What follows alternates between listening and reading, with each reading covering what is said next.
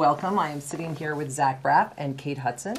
Zach has a movie here called Wish I Were Here. Wish I was here. Wish I was here. Wish I was here. Wish Do you I want another take on that? It's okay. Keep it in. Let's keep it in. It's all good. Actually, you uh, said the grammatically correct version, but we purposely made it grammatically incorrect. to yeah. challenge us dyslexic Yeah. people. Anyway, you were here with uh, Garden State. Yes. Uh, many moons ago, and for this film, we've been hearing about it for a long time because you did Kickstarter, Yeah. which was kind of an interesting uh, approach uh, and amazing that you raised the money in, almost instantaneously. correct? 48 hours, yeah. Wow. Why? Why Kickstarter for this?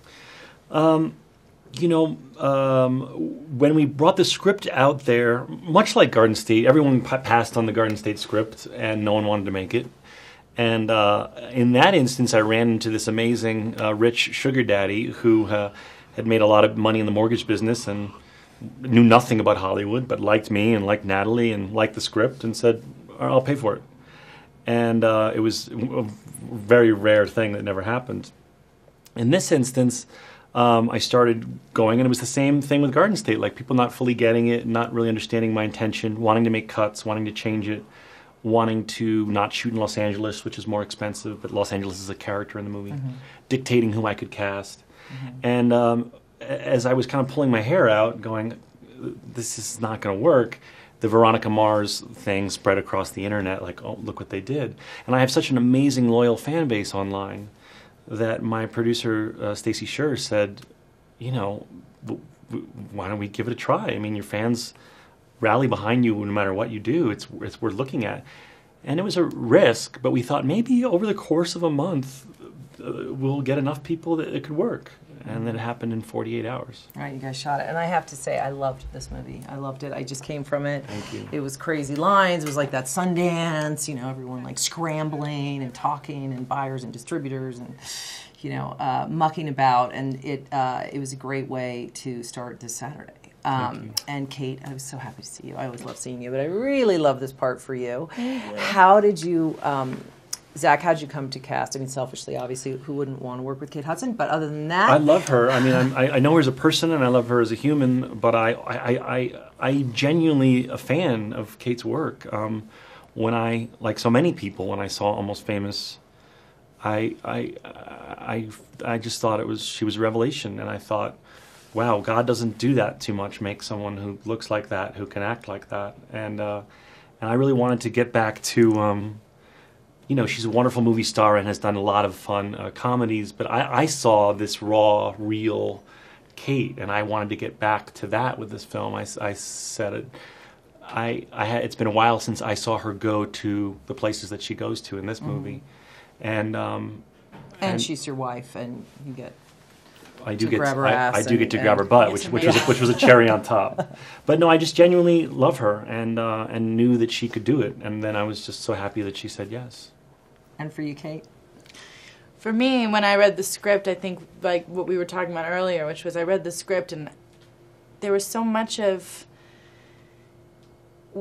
it that spoke to me personally um, about my life, and you know, Josh was talking about his complicated relationship with his father, and I have a complicated relationship with my father. I have no relationship with my father, and and I think that the story just sort of hit a nerve with me. And also being so close with Zach, there's something about the way that him and his brother wrote it that just felt so honest and vulnerable.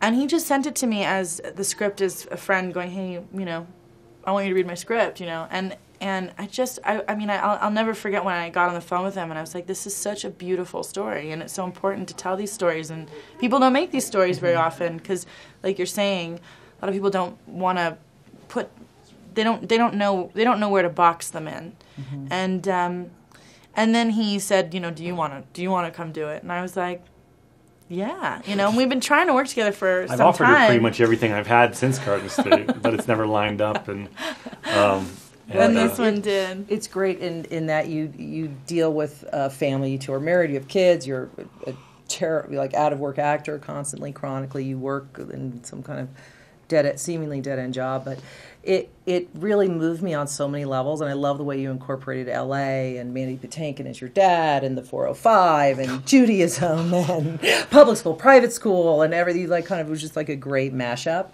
But what was for you the? Obviously, you and your brother uh, wrote this. Was it about um, your own family? Is there something that you took from, or because I feel like we'll just say this one more time. I feel like having been through uh, a similar thing, uh, losing actually both my parents uh, to cancer, it was so spot on in terms of kind of what happens and how you have to deal with this, you know, end of life.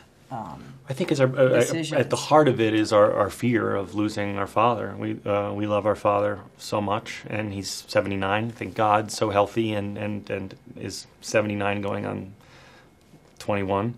Um, but uh, I think at a certain age, uh, you start to it starts to register in your brain like, oh my God, this person that I love so much will not be here forever. And then while you're simultaneously teaching your young children, in this case, he's trying to homeschool them, he's called upon to be like, oh, I have to answer questions about spirituality and death, and I don't even know what I believe yet, you know, because they're young parents. Uh, I mean, they had these kids young. So uh, my brother has two young kids, and, and he pulled from his own experience there, and and uh, we did grow up in a, in a pretty religious family when we were young. So we there's lots of it, in the spirit of Garden State. There's lots of it that's taken from our own lives, but then lots of fiction, you know, wrapped around it. all right, well, thank, Thank you so you much. so much. It's so great, Great guys. I loved it. It was such a good movie.